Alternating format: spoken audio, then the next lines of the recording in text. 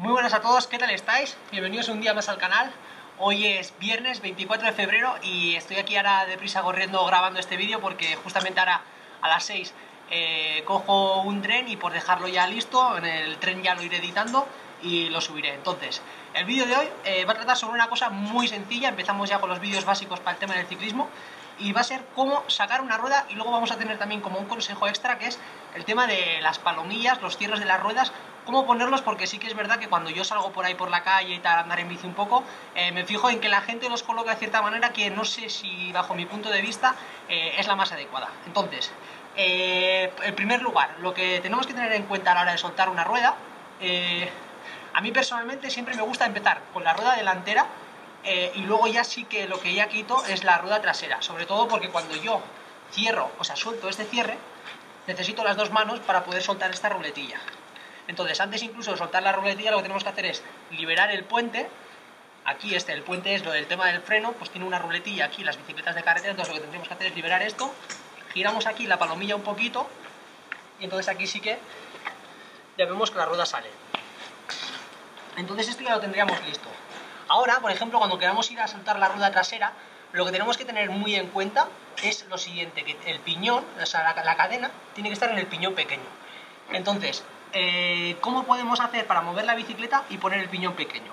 Para bajar el piñón en la bicicleta de carretera tendríamos que tener en cuenta la, maneta derecha, entonces tendríamos que darle, en el caso de que sea así mano, aquí al botoncillo pequeño, en el caso de si es campanolo, por ejemplo, aquí a uno que tendría en la parte interior, pero bueno, en este caso lo que tendríais que es a través del mecanismo que tengáis, bajar el piñón a la rueda pequeña.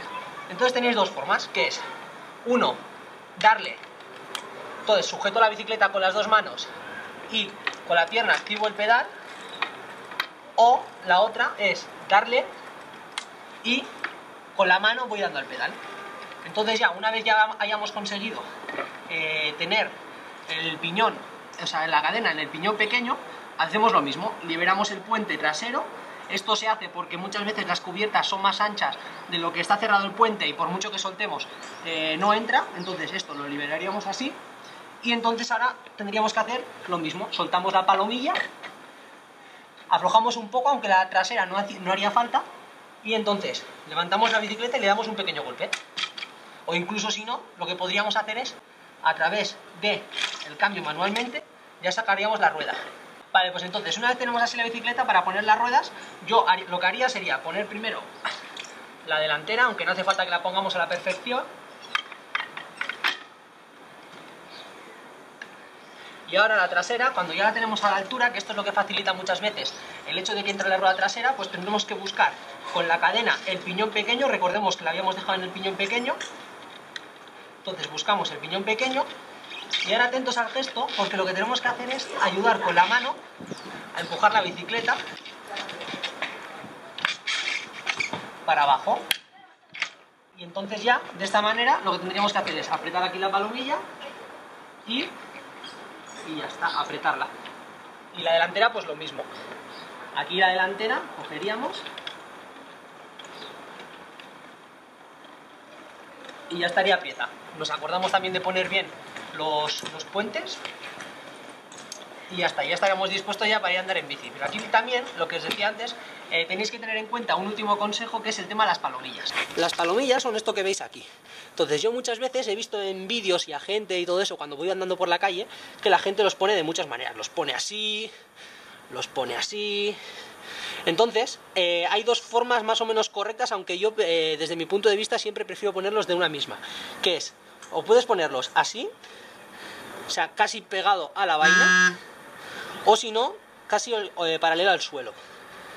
De esta manera eh, es siempre mucho más fácil liberar y, en este caso la rueda delantera, debería de ir así, más o menos. Esta sería la forma correcta de poner la palomilla.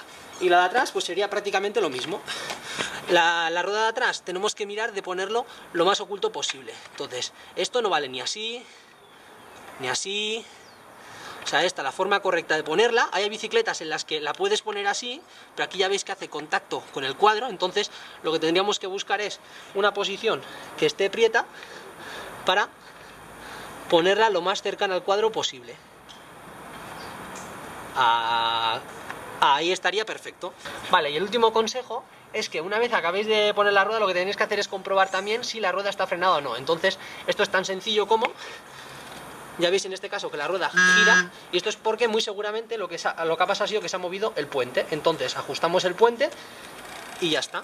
Damos un pedal por si no estaba el piñón puesto para que se ponga y ya está. Y lo mismo con delante. Comprobamos el piñón en la rueda delantera ya está perfecta, está el puente bajado y todo y ya está. Este es el primer vídeo eh, de consejos para principiantes que trata en cómo quitar, poner las ruedas y sobre todo este truquillo que ya hay gente que incluso lleva muchos años andando en bicicleta que lo de la palomilla no lo pone bien y a mí me parece que esta es la forma más correcta de ponerlo. Así que nada, de esta manera vamos a despedir el vídeo de hoy. Yo me voy corriendo que tengo que hacer todavía muchas cosas antes de irme a por el tren.